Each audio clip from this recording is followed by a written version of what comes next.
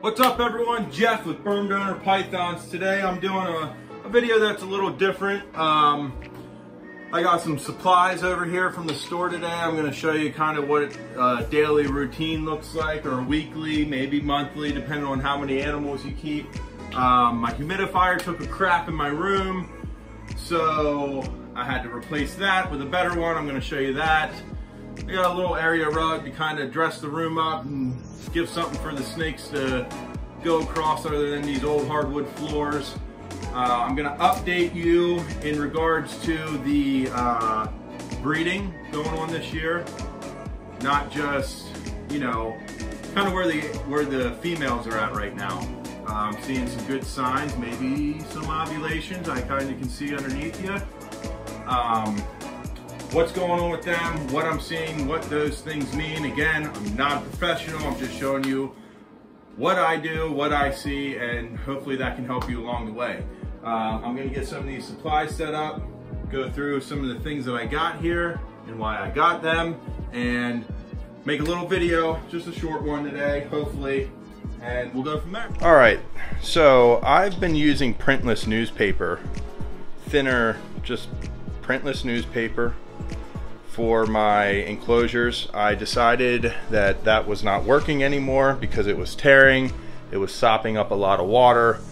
So I went with this heavy duty contractor's paper. It was about, I think 20 bucks a roll. It's 100 feet. I bought two rolls. I think it's gonna work. I'm gonna cut them the length to each enclosure and kind of go from there. Got a new humidifier here. It has a feature on it that I'm excited to use. It's a warming misting feature. Holds two gallons. It has a night light on it. I'm pretty excited for all that stuff. Um, new hand sanitizer. You always want to stay clean in your reptile rooms. Listerine. What would I need Listerine for? Well, I will show you that in a few moments some caulk to recaulk some of the enclosures. Some of the animals, after being in there for a while, they have been tearing that up, white and black. And then this is humidifier treatment. I have well water here. It's a real hard water. This will um, help prevent like calcium buildup and it leaves like a, when you run a humidifier in a room, it leaves like a white dust. So we're gonna use some of that just a little bit. I have old hardwood floors in this room.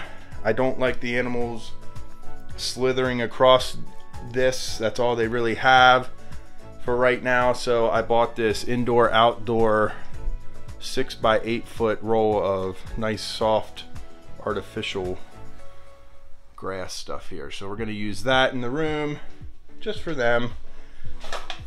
Just a cheap little humidifier gauge Hopefully it works. And of course, your paper towels. Can't go wrong with a big, fresh bunch of paper towels. All right, let's get, uh, try to unroll this. This is probably doing things backwards, but it's out of the way. And I'm excited to put this down. I just mopped in here the other day, so it's nice and clean floor. Oh yeah, I'm already gonna like it just to dress the room up and give the animals something to crawl on other than the hardwood.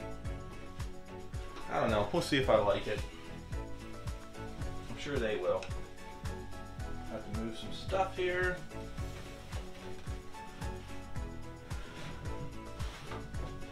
I hope you guys are enjoying these videos. I'm enjoying making them.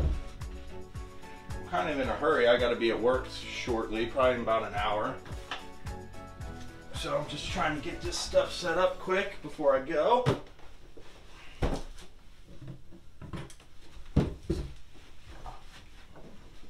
I like it already.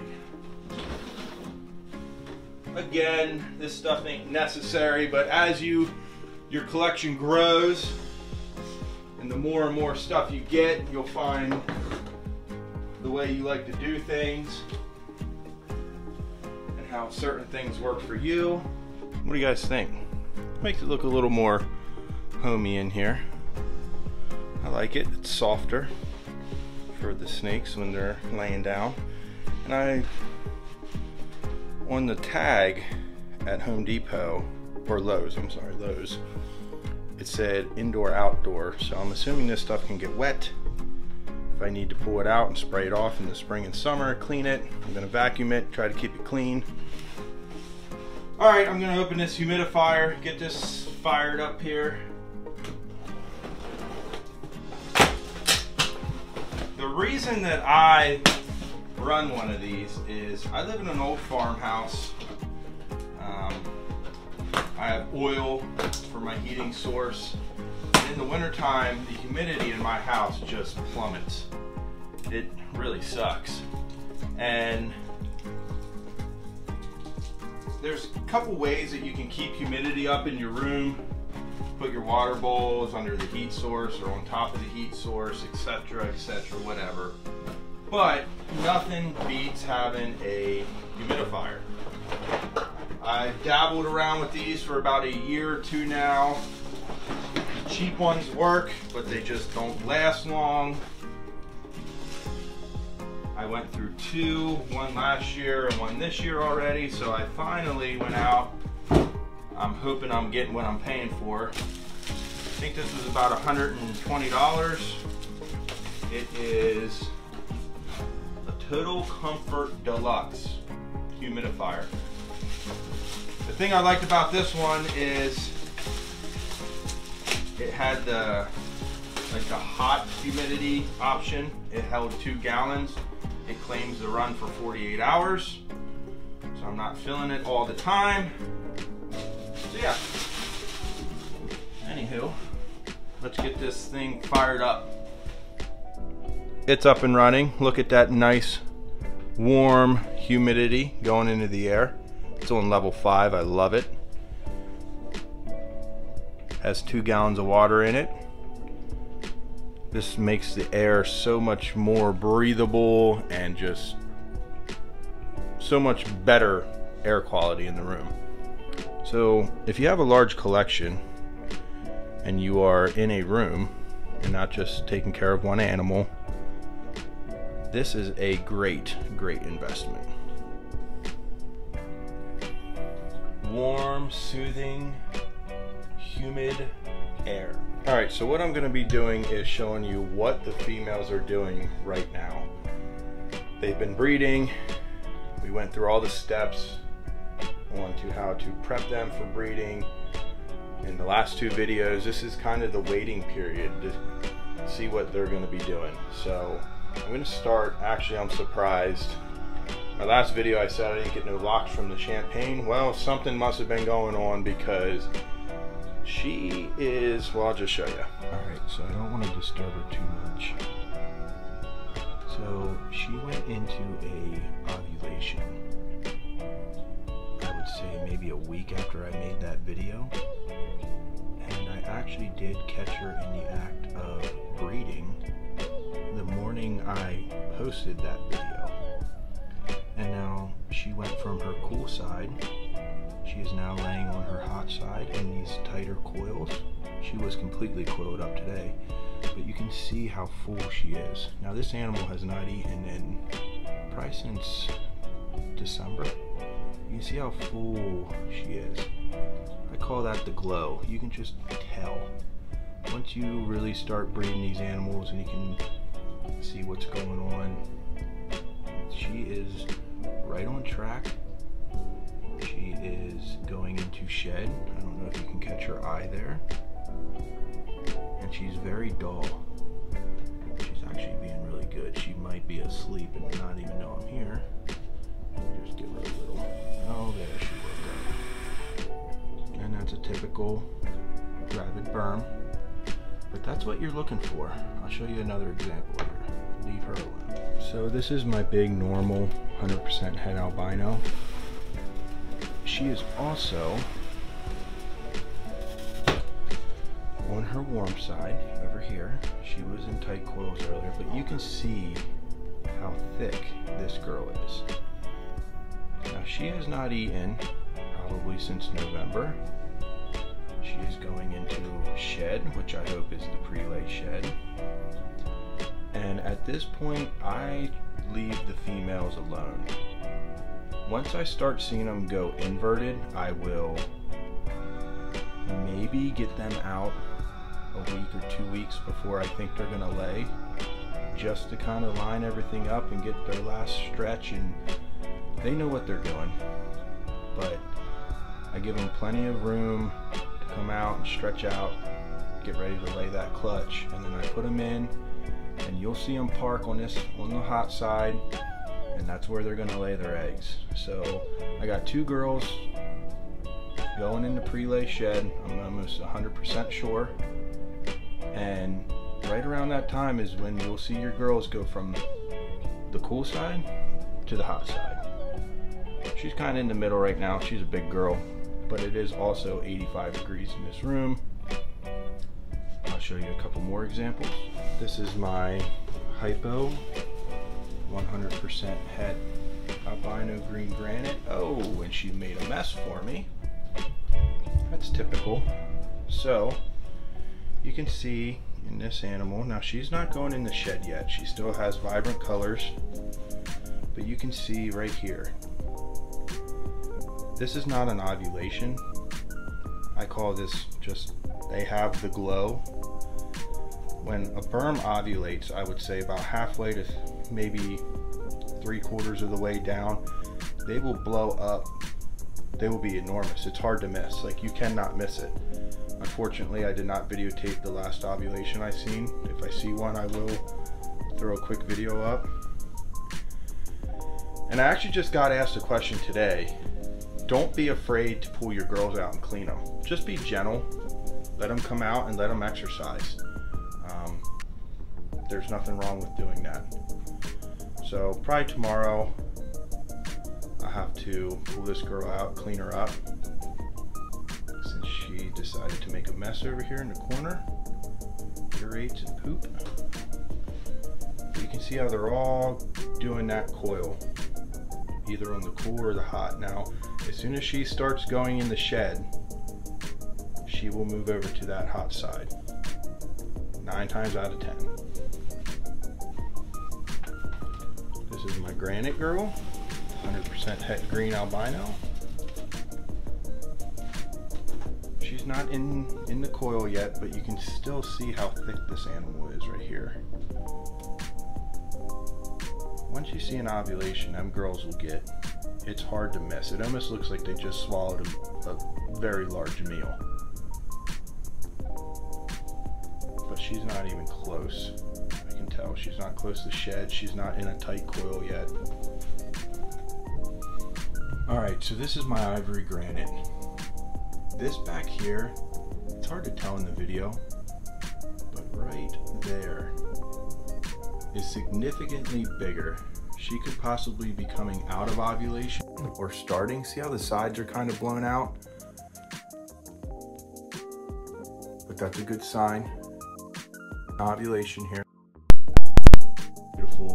High white, ivory granite girl. But that's what you're looking for. That swelling, that nice thick fullness. And usually right around that time is when you'll start seeing them go into a shed and hugging that hot spot. All right, everyone. That's gonna do it for this video. It was short. I want to show you some new supplies I got. Just what I do in the reptile room on a daily basis. Um, an update on the females and what you want to look for about this time.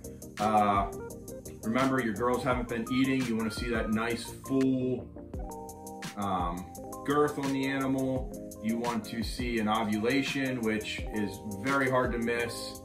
Uh, I mean, unless you're not checking your animals every day, but an ovulation, when I catch them, I would say they are about a day, maybe two days. You can kind of catch them right before, right after.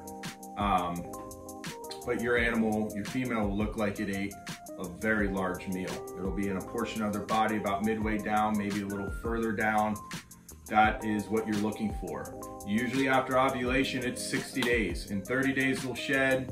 Another 30 days, you'll have eggs on the ground, roughly, give or take a few days. I've had girls go 35 days, 32 days, 27 days. I usually start counting my 30 days when them girls go into blue. So when their eyes really go opaque and when they are 100% in blue, ready to shed, that's when I start counting. So I usually get eggs around 27 days. But like I said, give or take a few days, don't panic. Um, again, coiling, going in the shed, moving to their hot spot, kind of getting uncomfortable. You won't see no inverted animals yet. And when they're inverted, don't be alarmed.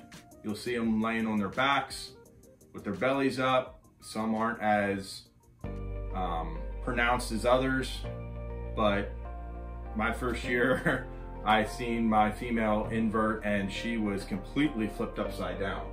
That's just her moving things around, getting ready to lay that clutch. So don't panic, take your time, and just watch your animals. They know what to do. Keep your room temperatures right. They know how to thermoregulate, where they need to be. So look for ovulation, look for the coils, look for that stage where they're going in the shed. You'll see them starting to hug that warm side. Then you'll start seeing some inverted animals closer to the time when they lay, but definitely those things. And then, you know, after their ovulation, you can call it a post-ovulation shed or a pre-lay shed. Once you have that shed, roughly around 30 days, you have eggs on the ground. Be prepared, have your incubator ready. We're gonna go through all that in the next video. I'm trying to keep this short. I could talk about this all day. I got some cleaning to do. I actually gotta be at work shortly. So if you have not seen this shirt, we are in dire need as a community of reptile keepers to go support USARK. These new bills and these new little laws that they're slipping into these bills are going to crush our hobby. It's going to just pet owners in general. Get go on to USARK, follow the steps. They have it like legislation for dummies 101 you read it it tells you the steps what you can do to send the emails um, the, the phone numbers to call. Do it. Please do it. I don't care if you have a room full of 22 burmese pythons. I don't care if you have a leopard gecko that you take on vacation with you every year we are not going to be able to travel with our animals we're not going to be able to ship them out to people that want to buy them there won't be able to, there won't be educational programs that can go across state lines. Like this is huge. This is the Lacey Act. It's it, it's a mess. Please go on, read that, and act. My like I made a post on my personal Facebook. Don't just read it, act. Do something. Call. Share that post. Donate to USARK if you can. Even if it's $5, if you can get a membership, get a t-shirt, you're supporting a great cause, not just for reptile owners, but pet owners. Unless it's a dog or a cat, pet owners are at stake here. Our animals are at stake. It, it's it's bad. It's really really bad. Um, it would be a shame if something like that would happen. So please go support USARK. Follow me on Instagram if you can, please. It's at the underscore sperm donor. Like, follow, subscribe to my YouTube channel. There wasn't a whole lot of content in this video, but I'm just trying to keep you guys up to speed and keep up my part of the deal here. Go support USARK.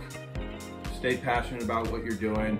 Fight the good fight. Let's beat these laws. Let's crush them. As a community, like, we can do that numbers is everything. So go do all that good stuff. Have a great weekend, everybody. Hopefully this video is up in the next day or two. I gotta edit it yet. So like, follow, subscribe, notification bell, all that good stuff. I will keep you posted on the room. Oh, I got two new berms, two big berms. Maybe I'll do a video on that. Thank you guys, take care, berm on.